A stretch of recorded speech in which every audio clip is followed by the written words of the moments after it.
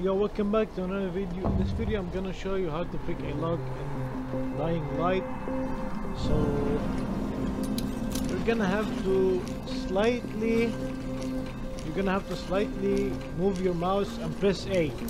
If you hear this sound, it's not gonna work. So keep trying.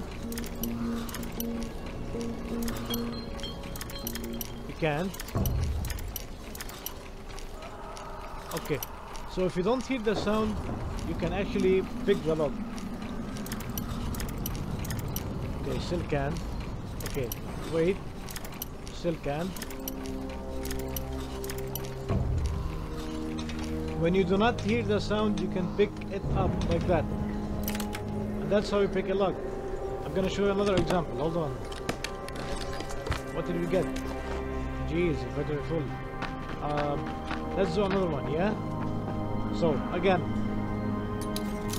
move your mouse and press A. If you hear the sound, you cannot pick it up. So you're gonna have to use, you're gonna have to move your mouse.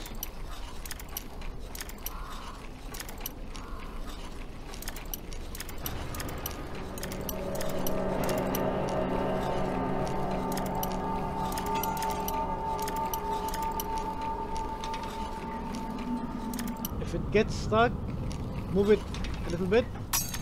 Okay, GG. Okay, so we were here, yeah? It gets stuck sometimes, so you have to slightly move it.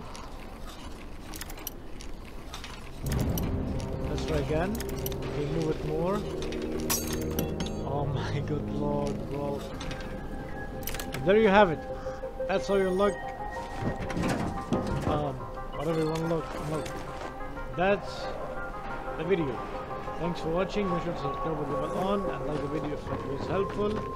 See you next one. Peace out, homeboys and girls.